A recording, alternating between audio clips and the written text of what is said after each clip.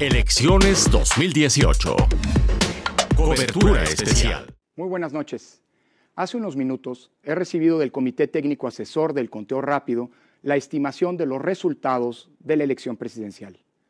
El conteo rápido es un ejercicio científico, estadístico, que permite calcular con un alto grado de precisión, a partir de una muestra representativa, las tendencias de votación que tendrán cada uno de los candidatos presidenciales así como el porcentaje de participación ciudadana en las urnas. A diferencia de las encuestas de salida, que estiman los resultados a partir de las declaraciones de los electores sobre el sentido de su voto, el conteo rápido se basa en los datos que los funcionarios de casilla asentaron en las hojas de operaciones, un documento previsto por la ley, luego de haber contado uno por uno los votos emitidos por los ciudadanos para la elección presidencial. De esta manera, el conteo rápido calcula los resultados a partir de los sufragios efectivamente depositados en las urnas. De ahí su alto grado de precisión. El día de ayer, de manera pública y transparente, fue seleccionado aleatoriamente el grupo de casillas de las cuales se han tomado los datos de la votación emitida para presidente de la República y que sirvieron de base para la estimación del conteo rápido. Se trata de un grupo de hasta 7.787 casillas que representan el 5% del total de las que hoy fueron instaladas a lo largo y ancho del país. Esos datos fueron recibidos y procesados por nueve de los más destacados matemáticos y estadísticos de México, quienes integran el comité técnico asesor mencionado. Vale la pena subrayar que los datos que mencionaré a continuación son preliminares igual que los que en estos momentos se están haciendo públicos a través del programa de resultados electorales preliminares, el PREP. Los resultados definitivos y que tendrán validez legal para determinar los triunfos electorales serán los que arrojen los cómputos distritales que comenzarán el próximo miércoles 4 de julio a partir de las 8 horas. De acuerdo con los datos que me han sido entregados por el Comité Técnico Asesor del Conteo Rápido, el porcentaje de participación ciudadana en la jornada electoral se estima entre el 62.9 y el 63.8% de la lista nominal nacional. Por lo que hace a la votación obtenida por los candidatos a la presidencia de la República, los rangos estimados de votación en el orden del registro de los partidos que los postularon son los siguientes.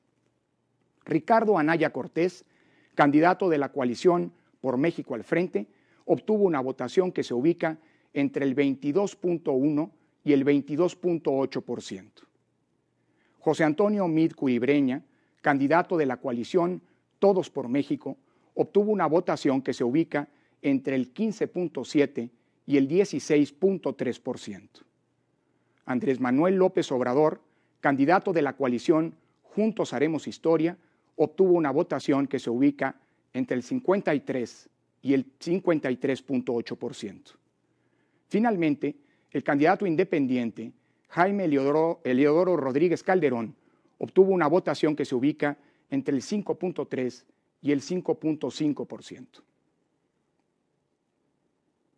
Como puede observarse, de acuerdo con la estimación del conteo rápido, los rangos de votación obtenidos por el candidato puntero no se sobreponen con los de sus contendientes, razón por la cual puede confirmarse una clara tendencia de votación a su favor. Además, les recuerdo que el PREP continuará recibiendo información de los votos computados en cada una de las casillas, tanto para la elección presidencial como para las de senadurías y diputaciones, hasta las 8 de la noche del día de mañana. Cualquier persona puede a través de Internet consultar en tiempo real conforme se van recibiendo por el INE las actas de escrutinio y cómputo de cada casilla, los resultados de las distintas elecciones federales.